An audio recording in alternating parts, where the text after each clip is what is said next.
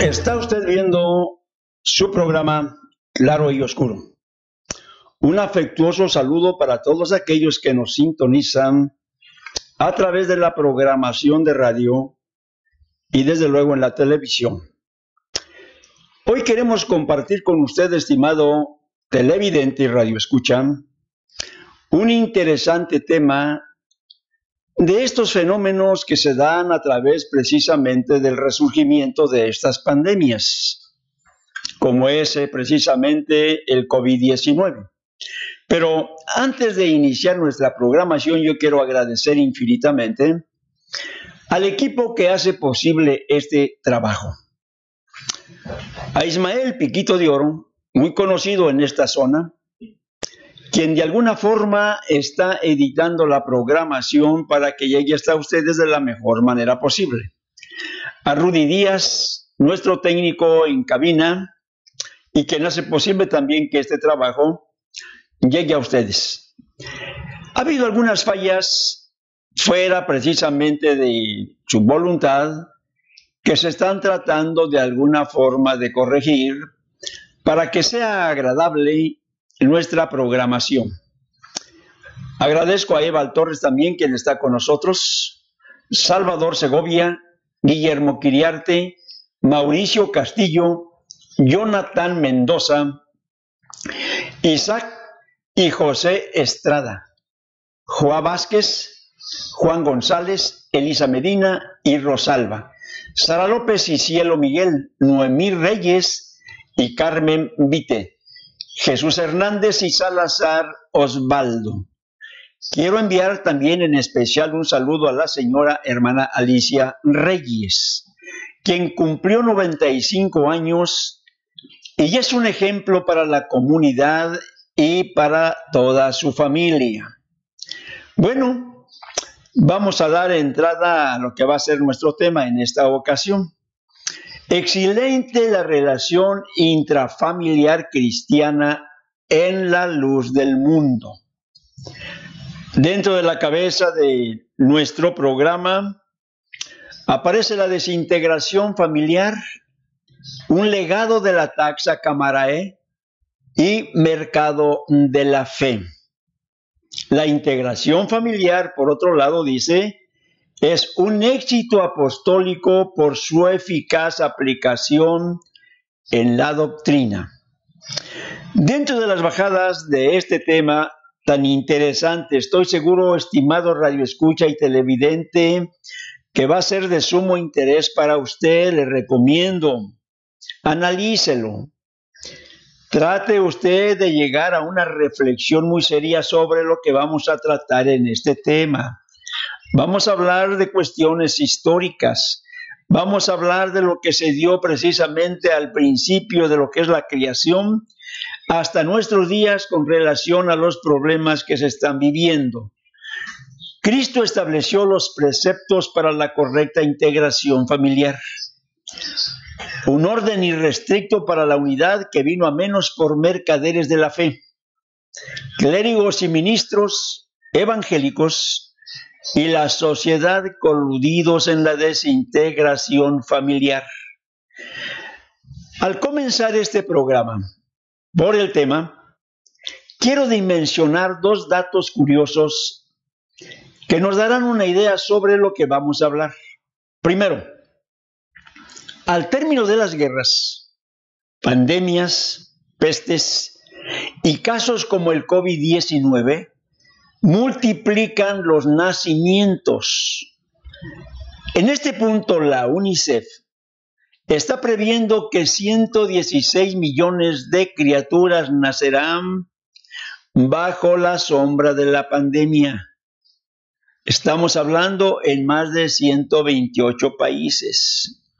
Dentro del segundo punto curioso que quiero mencionar se encuentra se multiplica la desintegración familiar. En el caso de la pandemia, todo indica que el confinamiento, en lugar de unir, multiplicó los conflictos en las parejas. Por otro lado, mucho tiene que ver la migración a otros países. el abandono del hogar por parte del padre o de la madre, problemas con los suegros, la economía y líderes religiosos que no supieron adoctrinar a sus filigreses. Lo más grave, cuando sus doctrinas y simulación van más allá explotando a la filigresía. Hablamos de una manera irresponsable. Tal es el caso de la taxa Camarae y su vergonzoso legado. En esta vertiente, la falta de valor de ministros cristianos para aplicar la doctrina cristiana de una manera genuina, se da también este fenómeno. Bueno, comenzamos nuestro programa. El mundo religioso y gobiernos confesionales, así como idealistas, políticos o grupos supuestamente cristianos de Occidente, tienen algo en común que se rigen bajo leyes establecidas por la ley de Dios. Hablamos en Israel, o mínimo bajo el régimen disciplinario que marcan las sagradas escrituras, tanto en la aplicación de la justicia como en el entorno moral, civil y espiritual. Entre estas destacamos por este tema las leyes de convivencia matrimonial y familiar establecidas bajo un régimen irrestricto que condenaba los excesos pecaminosos del ser humano, quien por irresponsabilidad, libertinaje, lascivia, la codicia y la infidelidad constantemente las quebrantaba, al grado de repudiar a su mujer por cuestiones triviales. Una constante o forma de vida que obligó a Moisés en su tiempo a darles carta de divorcio. De esto, estando ya presente Cristo, habla sobre ello y mencionó en Mateo 19:3. Entonces vinieron a él los fariseos tentándole y diciéndole, ¿Es lícito al hombre repudiar a su mujer por cualquier causa, pretendiendo desde luego justificar su falta de respeto por la mujer o la convivencia? Hablamos de aquello que había sido establecido en la ley para el hombre con su esposa, con sus hijos y demás familia. Él respondió, hablamos de Jesús, y le dijo, ¿No habéis leído que el que los hizo al principio, varón y hembra, los hizo? Así que no son ya más dos, sino una sola carne. Por tanto, dijo él, lo que Dios juntó, no lo separe el hombre. Le dijeron, ¿por qué pues mandó Moisés dar carta de divorcio y repudiarla? Él les dijo, por la dureza de vuestro corazón, Moisés os permitió repudiar a vuestras mujeres, mas al principio no fue así. Cristo conocía sin duda la dureza de esta estirpe. Ante la creciente pervención y los libertinajes de quienes no le creyeron y tampoco le respetaron, aplicó por ello lo que hoy conocemos como la ley de Cristo, que fue más allá en sus estatutos, en sus reglas, estableciendo precisamente las mismas para sus seguidores. Dentro de esa promesa de salvación, esta ley, por regla de Cristo, superaba las leyes incumplidas sobre el matrimonio. El no codiciarás la mujer de tu prójimo, ni desearás la casa de tu prójimo, ni su tierra, ni su siervo, ni su sierva, ni su buey, ni su asno, ni cosa alguna de tu prójimo. En Deuteronomio 5:21, la ley dictada por Dios que vetaron precisamente aquellas generaciones. El matrimonio en Israel tenía que ser respetado en ambos sentidos, lo que en muchos eh, casos lo llevó a la muerte. Tal es precisamente aquel problema de la mujer que fue hallada en el hecho adulterando, quien fue acusada ante el Señor y para justificar su muerte a pedradas acudieron a él, porque la ley así lo señalaba. La historia la conocemos. ¿Está? No obstante, fue librada por motivos de conciencia. Por ello, la misma ley les exigía, no matarás, no cometerás adulterio, no codicharás la casa de tu prójimo ni su mujer, etcétera, etcétera. En este sentido, quienes quebrantaban sus estatutos fueron muertos algunos a pedradas, colgados en un madero, trabajos forzados o simplemente encarcelados.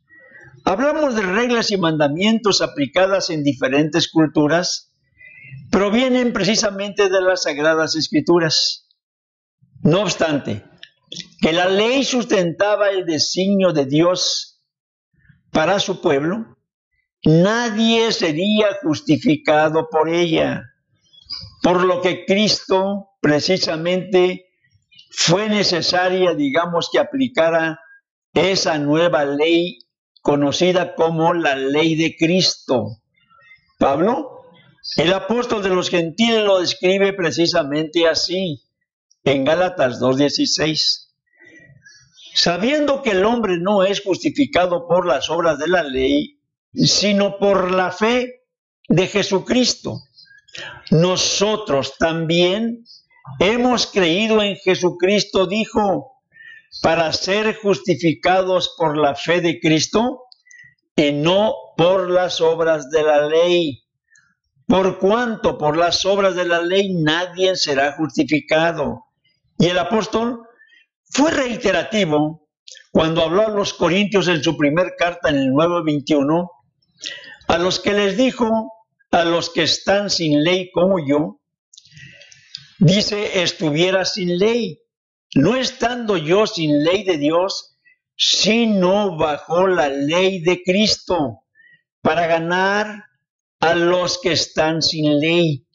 De esta forma, el ministerio de Cristo consolidó y perfeccionó precisamente la ley, marcando de una vez y para siempre los límites y libertades que tendría la humanidad con relación al matrimonio, la fe, la esperanza y la salvación. El apóstol de los gentiles precisó en Hebreos 9 este proceso o esta transformación.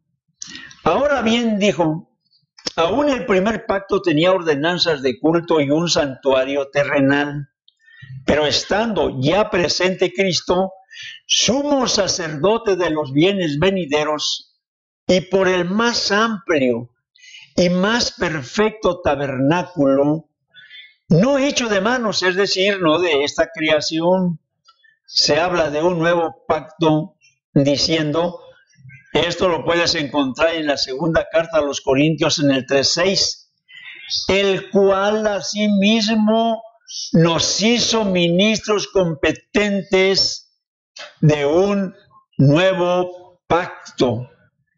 Estando presente Cristo establece con firmeza los preceptos espirituales para la integración familiar. En Mateo 5:27 dijo, oíste que fue dicho, no cometerás adulterio. Pero yo os digo que cualquiera que mira a una mujer para codiciarla, ya adulteró con ella en su corazón. También fue dicho, cualquiera que repudia a su mujer, dele carta de divorcio.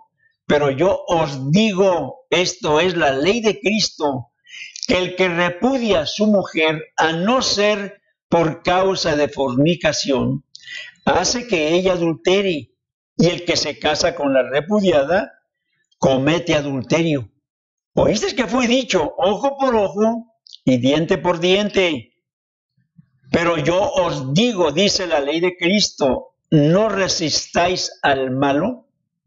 Antes a cualquiera que te hiera en la mejilla, hablamos derecha, vuélvele también la, la otra. En este celo y con exactitud, Cristo y discípulos salvaron y condenaron. ¿Qué quiero decir?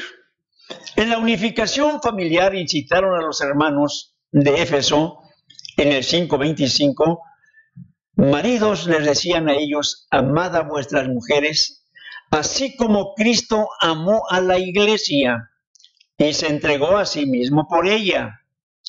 En Colosenses 3:19 viene otro consejo.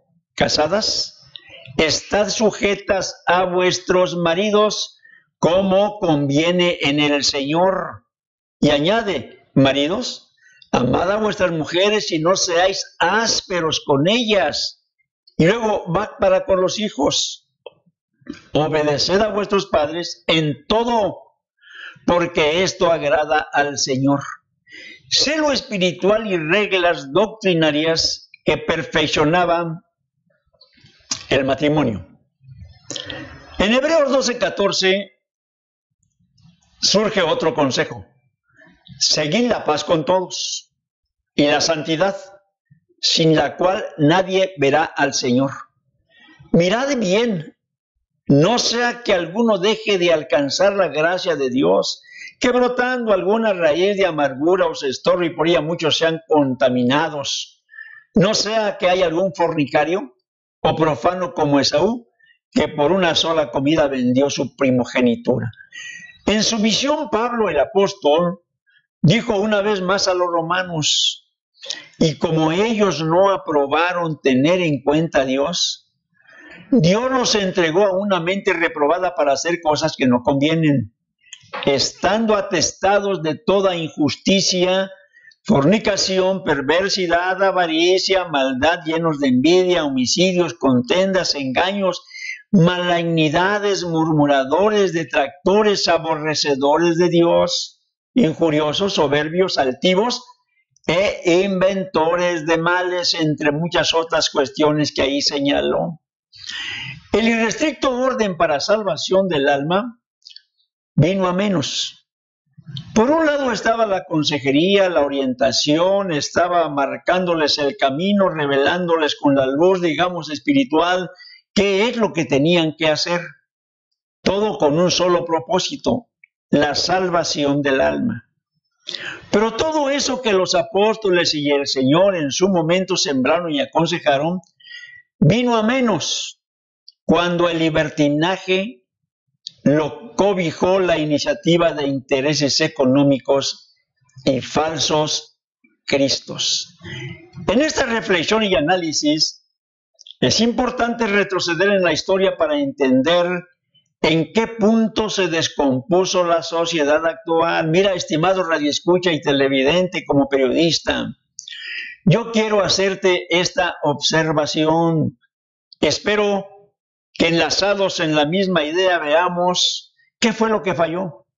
Si la ley de Dios y las constituidas por gobiernos políticos y religiosos no lograron la transformación en Occidente, lugar en donde prevalece el dominio del milenario imperio de la fe y más allá, en donde su influencia penetró, es importante analizar quién falló, Dios o el hombre.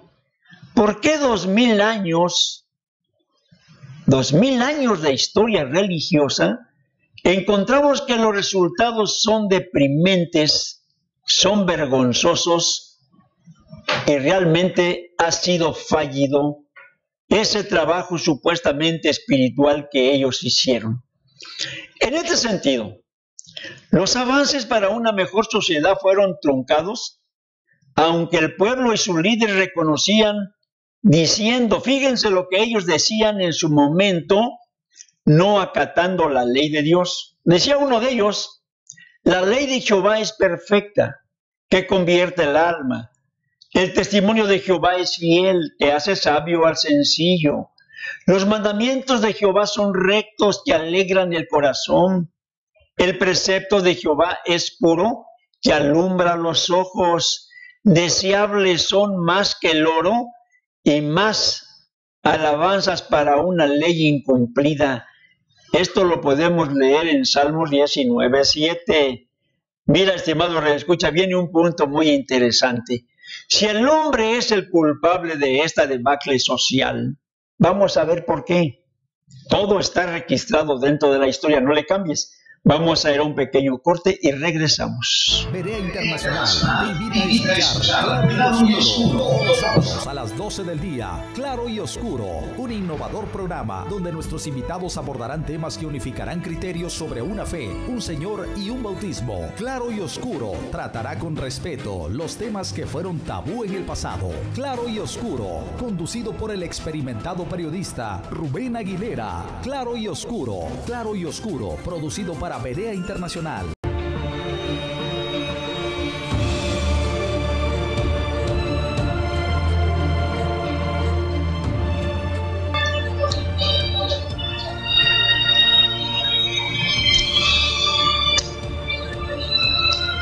Retornamos, estimado radio escucha y televidente. Nuestro tema es muy interesante en esta ocasión.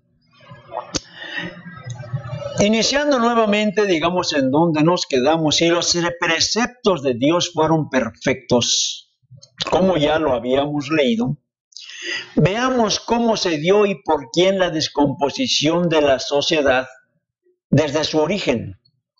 Primero, el pueblo judío, por su rebeldía y pecado, por su desobediencia, no supo valorar la perfección de la ley rechazando su mandato sobre todo con relación a la integración familiar y el respeto por el matrimonio, forzando a Moisés para una carta de divorcio y vivir sin reglas. El ejemplo clásico se dio con los fariseos y la mujer encontrada en ese lecho adulterando. Después de que llegaron con Jesús y les reprendió y les hizo ver que en conciencia no podían ellos darse el lujo de sentirse libres, se fueron yendo uno por uno, al grado que al marcarles las reglas que ya leímos hace un instante, dijeron sus propios discípulos, si así es la condición del hombre con su mujer, dice, no conviene casarse. Fíjense hasta dónde era el celo de Dios, el celo de Cristo, y cuando marca precisamente su ley, su línea, sus mismos discípulos titubearon un tanto. Bueno, en esta condición, la presencia de Cristo era necesaria y sobre todo en el matrimonio, la integración familiar. Él revaloró la unidad de integración de las familias. Pero ¿qué pasó? Los fariseos de ayer y los de hoy son los mismos. Su postura sigue siendo de repudio para la mujer, a pesar de conocer la dignificación que Cristo les dio. También los apóstoles en la iglesia que Jesucristo funda, estos señalaron con precisión cuál tiene que ser la unidad de los matrimonios y dejando como última opción la separación solamente por motivos de adulterio. Los sacerdotes, y esto ya es parte de la historia, vamos a analizarlo. Los sacerdotes infieles fueron condenados.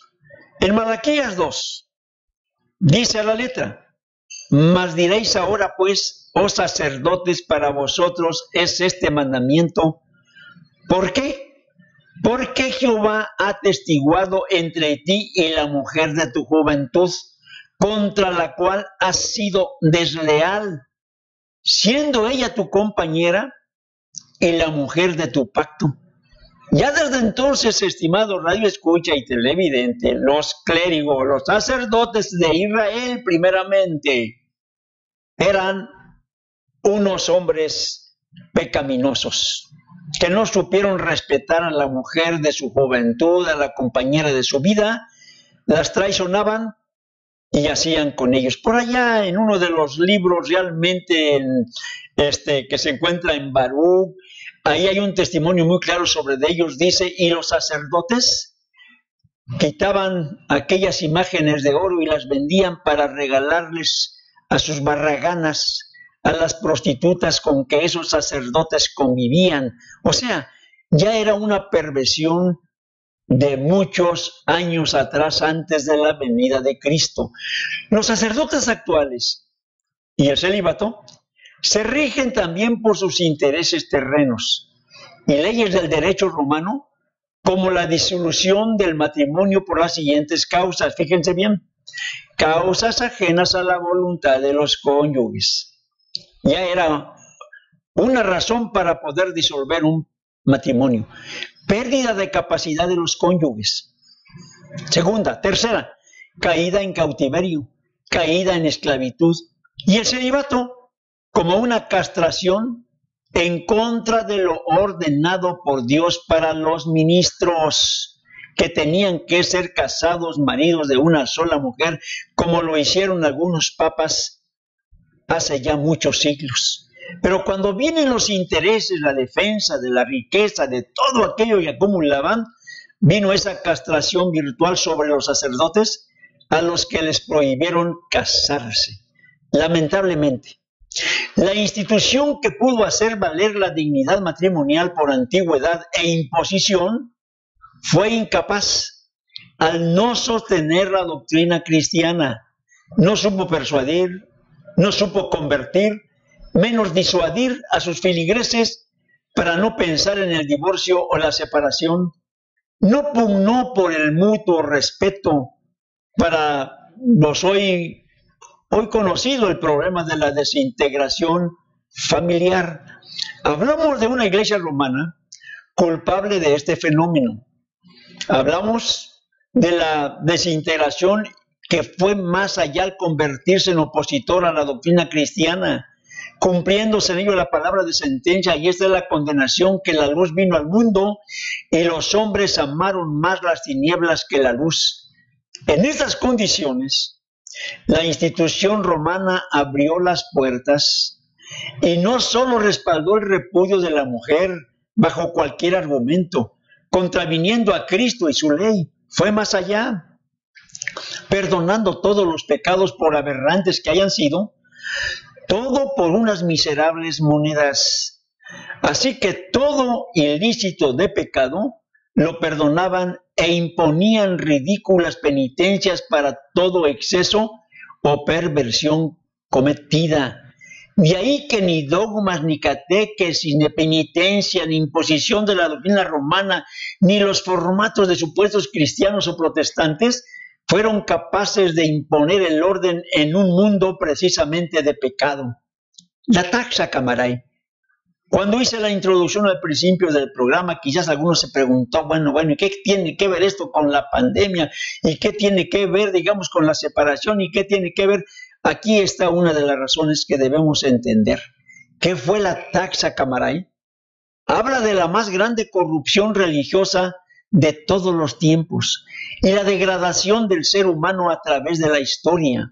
Número uno, el eclesiástico que incurriera en pecado carnal, ya sea con monjas, ya con primas, sobrinas, ahijadas suyas, ya en fin con otra mujer cualquiera, será absuelto mediante el pago de 67 libras. Punto 2. Si el eclesiástico, además del pecado de fornicación, pidiese ser absuelto del pecado contra natura o de bestialidad, deberá pagar 219. Ojo, estimado radio escucha. Era tanta la perversidad que iban con todo aquello que es sobrenatura y aún, aún fornicando con animales. Y todo esto lo, lo liberaban ellos con una miserable suma de 219 libras. Claro que en aquel entonces, pues era, era pagar cantidades fuertes. En el 3 dice, el sacerdote que desflorase a una virgen, fíjese lo que costaba nada más. Cualquiera atrevido que por ahí desflorase a una virgen, solamente pagaba dos libras y ocho sueldos a la iglesia romana y el asunto de conciencia estaba liberado. Cuatro, la religiosa que quisiera alcanzar la dignidad y abadesa, después de haberse entregado a uno o más hombres simultáneamente, fuera o en su convento, pagará 131 libras, 15 sueldos. Con razón, fíjate, aquellos que murieron en el pecado siendo unos perversos, unos malvados, como fue, digamos, Marcial Maciel, que a punto estuvo de subir a los altares por las millonarias sumas que soltó a la iglesia, pues cómo no van a convertir en santos a cualquier individuo que pagando simplemente lo que ellos piden la libra. Correcto. Cinco, los sacerdotes que quisieran vivir en concubinato con sus parientes pagarán 76 libras y un sueldo. Seis, para todo pecado de lujuria cometido por un laico, la absolución costará 27 libras y un sueldo. La mujer adúltera que pida absolución para estar libre de todo proceso y tener amplias dispensas para proseguir sus relaciones ilícitas, pagará al Papa 87 libras, tres sueldos. En caso igual, el marido pagará la misma suma si hubiesen cometido incesto con sus hijos. Añadirán en conciencia seis libras. Hágame usted el favor. ¿Cómo va a haber, digamos, una composición religiosa, social?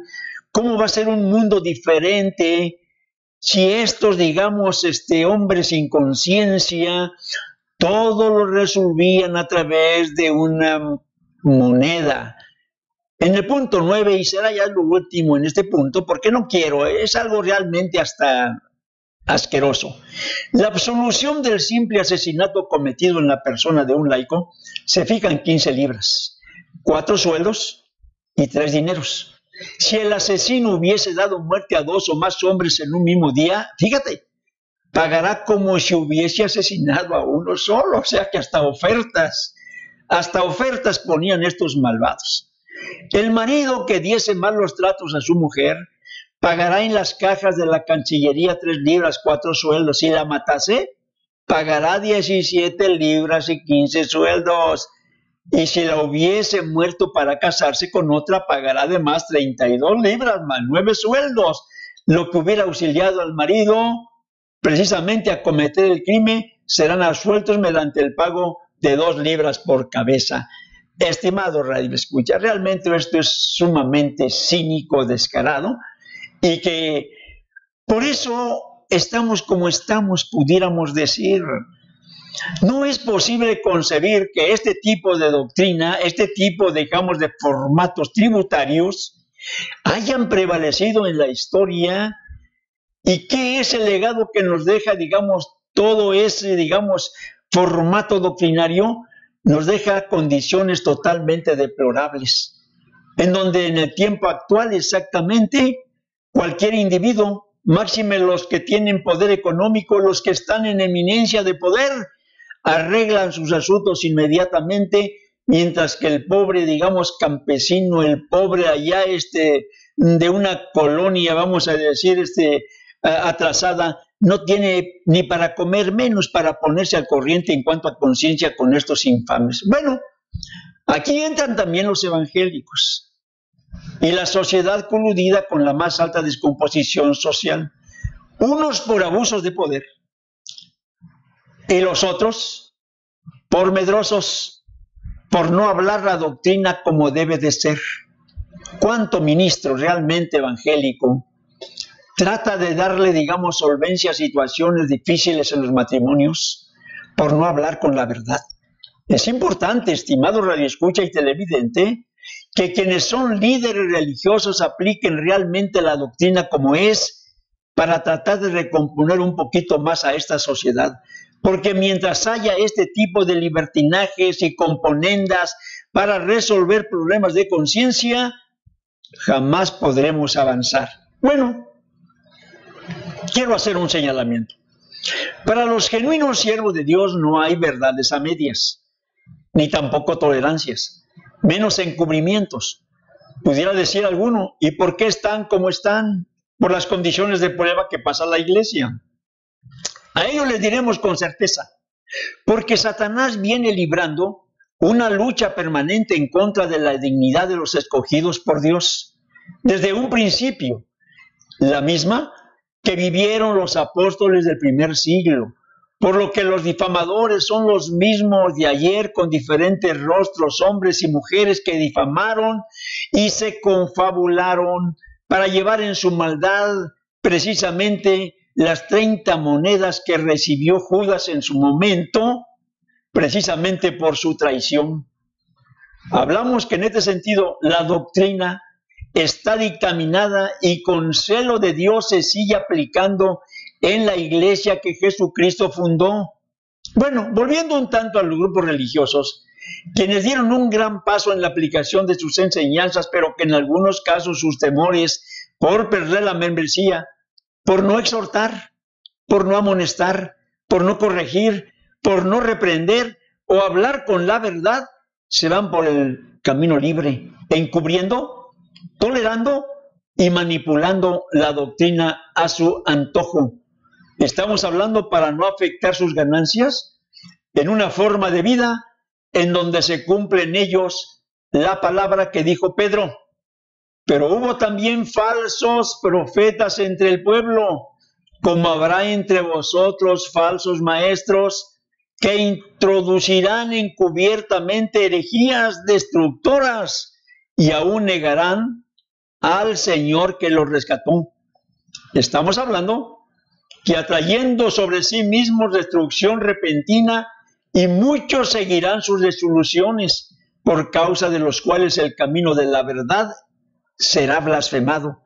Y por avaricia harán mercadería de vosotros con palabras fingidas.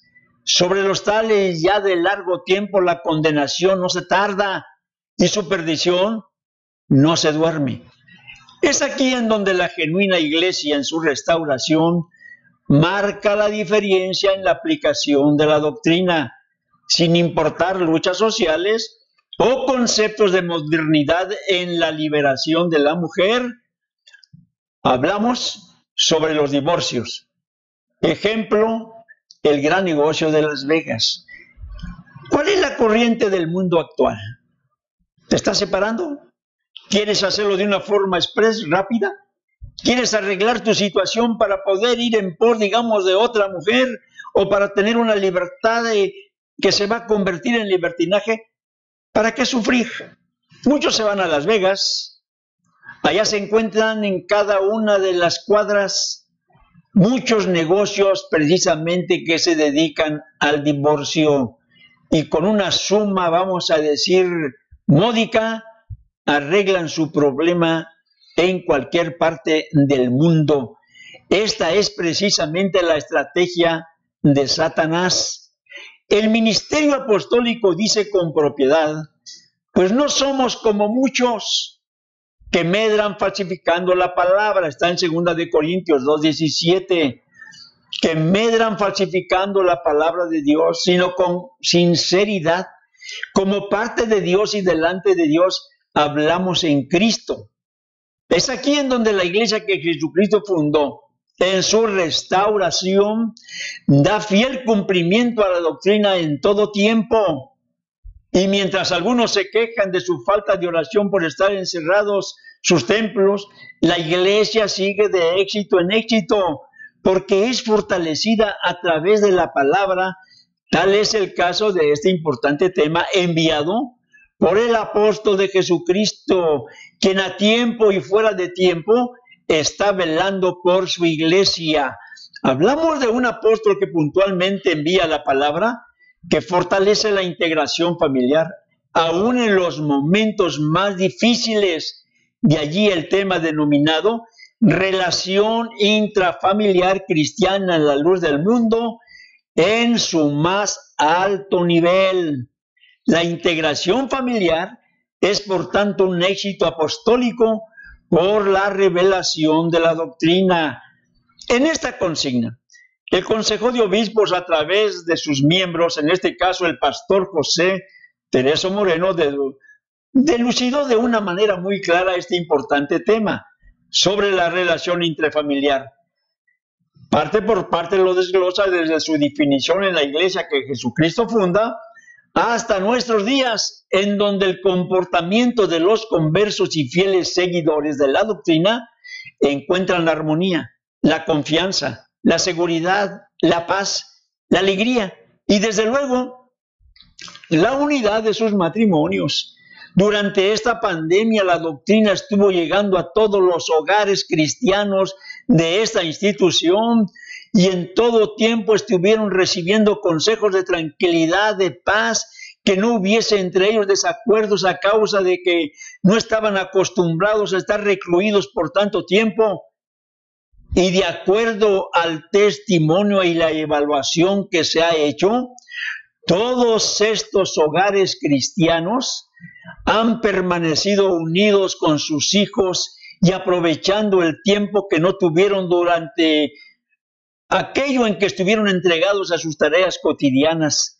Hoy estos hogares cristianos se reunían con sus familias para estar escuchando la palabra, estudiando capítulos, preparándose para dar un testimonio, gente que estuvo en paz, gozando cada instante de esta reclusión.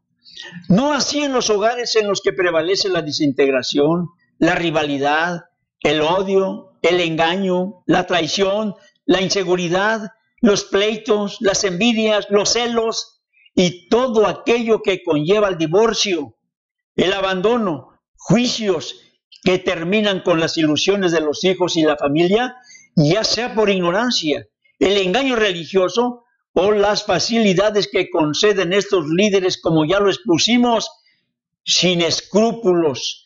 Ejemplo lo de ello lo vemos diariamente entre grandes personajes de la política. Y esto es interesante, estimado radioescucha y televidente. Muchos de ellos sobreprotegidos por clérigos que rebuscan convertir su libertad en libertinaje por el poder económico que tienen hay casos de presidentes y gobernantes, artistas, cantantes, actores que cuentan con la anuencia de la iglesia porque su fin justifica sus medios.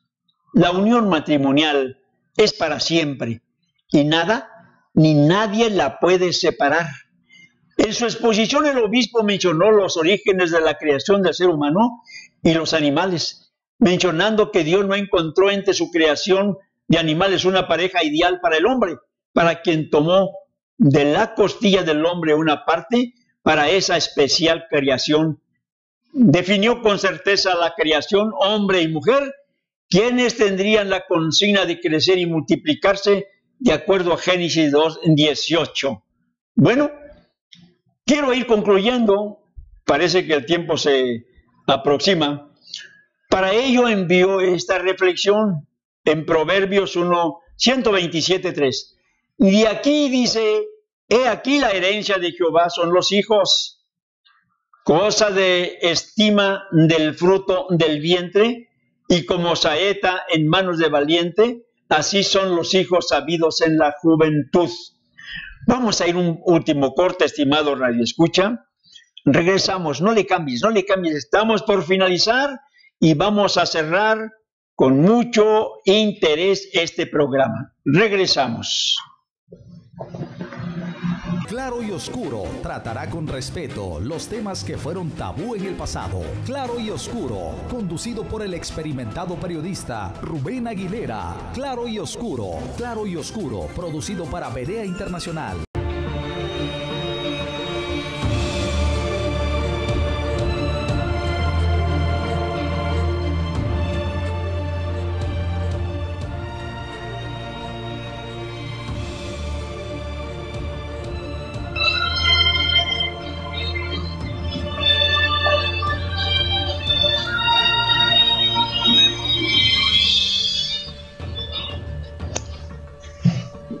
Regresamos, estimado radio escucha y televidente. El tema muy interesante lo vamos a ir cerrando con el, la siguiente reflexión. Vuelvo a repetir el tema. La relación intrafamiliar cristiana en la luz del mundo es excelente. La desintegración familiar, legado de la taxa Camarae y el mercado de la fe. Integración familiar, éxito apostólico por la eficaz aplicación de la doctrina. Nos quedamos en una reflexión muy importante. Así son los hijos habidos en la juventud. Bienaventurado el hombre que llenó su aljiba de ellos, no será avergonzado. El mensaje directo es, no seamos tentados por Satanás y se desarrolle entre nosotros la desintegración, el pensamiento del divorcio o la separación. Hablamos de la enemistad y no caer en la modernidad de lo tuyo es tuyo y lo mío es mío. En el matrimonio cristiano existe la renovación de nuestra mente y la palabra aplica así. Mateo 19, 4, 6 dice, por esto el hombre dejará padre y madre y se unirá a su mujer, y los dos serán una sola carne. Así que no son ya más dos, sino una sola carne. Por tanto, lo que Dios juntó no lo separe el hombre. Y le dijeron, ¿por qué pues mandó Moisés a dar carta de divorcio? Les dijo, por la dureza de vuestro corazón. Por eso Moisés permitió que lo hicieran. Pero al principio dijo claramente, no fue así. Y yo os digo que cualquiera que repudia a su mujer, salvo por causa de fornicación, adulterio, se casa con otra adultera. Y el que se casa con la repudiada adultera también le dijeron sus discípulos, si así es la condición del hombre con su mujer, no conviene casarse. Fíjate, los mismos discípulos sabían perfectamente por el estricto celo de Jesús que era muy difícil la situación del matrimonio. Por eso aquellos valientes que decidieron casarse, aquellas valientes que decidieron unirse, no andemos con recovejos, no andemos con medias tintas, seamos realmente hombres de palabras para poder cumplir con aquello que un día en el altar, porque no nos forzaron, ahí estabas tú, allí estaba ella, y diciendo, sí acepto, sí acepto con mucha alegría. ¿Y qué pasa? Que al mes, a los dos meses, al año, simplemente por incompatibilidad de caracteres, que es algo que se utiliza actualmente, ya se andan queriendo separar. Y no es tanto eso, sino es que por ahí, en ocasiones, andan en malos, en malos pasos. Bueno, este tema fue muy directo en la iglesia la luz del mundo y consideramos que por ello, por esa rudeza de la palabra, por esa claridad con que se habla, hay conciencia en cada uno de sus miembros y tratan de vivir lo mejor posible en sus hogares, respetándose mutuamente esa es felicidad, es alegría, convivir con los hijos, ser responsables. Este es el consejo que se les dio a esta institución a través de los obispos. El más grande problema del mundo religioso es la pérdida de su identidad cristiana con relación al matrimonio, adaptando demandas sociales y corromper las escrituras. El mensaje apostólico es claro para la integración familiar por esto el hombre dejará a su padre y a su madre y se unirán los dos y serán una misma carne. ¿Cuál tiene que ser el comportamiento matrimonial en la iglesia? Pablo le dijo a los efesios, maridos, amad a vuestras mujeres, así como Cristo amó a la iglesia y se entregó a sí mismo por ella para santificarla, habiéndola purificado en el lavamiento del agua por la palabra, a fin de presentársela a sí mismo una iglesia gloriosa que no tuviese mancha, ni arruga, ni cosa semejante, sino que fuese santa y sin mancha. Así también los maridos deben amar a sus mujeres como a, sus mismos cuerpos. El que ama a su mujer a sí mismo se ama, porque nadie aborreció jamás a su propia carne, sino que la sustenta y la cuida, como también Cristo a la iglesia, porque somos miembros de su cuerpo, de su carne y de sus huesos. Por esto dejará el hombre a su padre y a su madre y se unirá a su mujer y los dos serán una sola carne. En la integración familiar están las responsabilidades compartidas, desde luego, los hijos. El Efesios 6.1 dice, hijos, obedeced en el Señor a vuestros padres, porque esto es justo. Honra a tu padre y a tu madre, que es el primer mandamiento con promesa para que te vaya bien y seas de larga vida sobre la tierra. Y vosotros, padres, no provoquéis a ir a vuestros hijos, sino criarlos en disciplina y amonestación del Señor. Pedro lo dice de esta manera en su primer carta en el 3.7. Vosotros, maridos, igualmente vivid con ella sabiamente, dando honor a la mujer como a vaso más frágil y como a coherederas de la gracia de la vida, para que no sean un estorbo y finalmente sed todos de un mismo sentir, compasivos, amándonos fraternalmente, misericordiosos, amigables, no volviendo mal por mal, ni maldición por maldición, sino por el contrario, bendiciendo, sabiendo que fuisteis llamados para que heredáis bendición. Para concluir sobre esta disciplina, que es vigente en la iglesia la luz del mundo, el consejo que da Pablo a los colosenses 3:18 dice, casadas están sujetas a vuestros maridos, como conviene en el Señor. Maridos, amad a vuestras mujeres y no seáis ásperos con ellas. Dijo, hijos, obedecer a vuestros padres en todo, porque esto agrada al Señor. Padres, no exasperéis a vuestros hijos, para que no se desalienten bajo este régimen de respeto y fidelidad, la luz del mundo. Disfruta en su más alto nivel la integración familiar, considerándolo como el éxito apostólico por la eficaz aplicación de su doctrina, despertando en la cabeza de un hogar que es el hombre la sensatez en todas sus actividades no imponiéndose, ni cerrándose, ni forzando, golpeando o castigando con irresponsabilidad. Y en la mujer también demandó el respeto, responsabilidad y atención en sus obligaciones del hogar para el marido e hijos y demás obligaciones, etcétera, etcétera.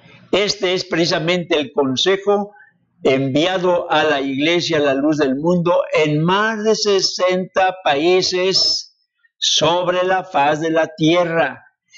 Hombres y mujeres, matrimonios, hogares, millones de hogares que escucharon precisamente este consejo por el cual, vuelvo a repetir, el éxito en esta iglesia en cuanto a la integración familiar es excelente.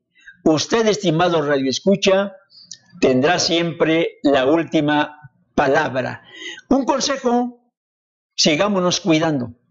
Pareciera ser que todo está ya resuelto en algunos estados, en algunos países, se vuelve a la normalidad, pero en otros estados, en otros países, vuelve a resurgir esta pandemia y nos obliga a estar encerrados. Pongamos atención y cuidémonos. Gracias y que Dios les bendiga. Te invita a escuchar Claro y Oscuro todos los sábados a las 12 del día. Claro y Oscuro, un innovador programa donde nuestros invitados abordarán temas que unificarán criterios sobre una fe, un Señor y un bautismo. Claro y Oscuro tratará con respeto los temas que fueron tabú en el pasado. Claro y Oscuro, conducido por el experimentado periodista Rubén Aguilera. Claro y Oscuro, Claro y Oscuro, producido para Berea Internacional.